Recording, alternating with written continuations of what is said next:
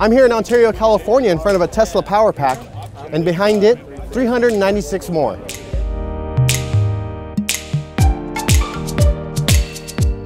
Now here at the new Mira Loma Energy Storage Facility, they're pumping out 20 megawatts at the site level. Now that's with the 396 power packs and 48 inverters. The way the system works is that these are battery packs, there's batteries. They store power, they don't generate power.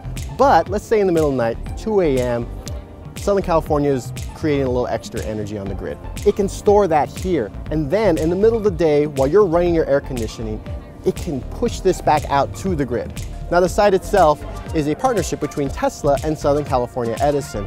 It's amazing that we have these, now we have these power packs on the grid to help us during peak hours, What's even more amazing is that they built this place from nothing to what we're seeing right here in three months. In fact, it went from conception to done in six months, which you've ever worked with a large corporation or government bureaucracy. That's insane.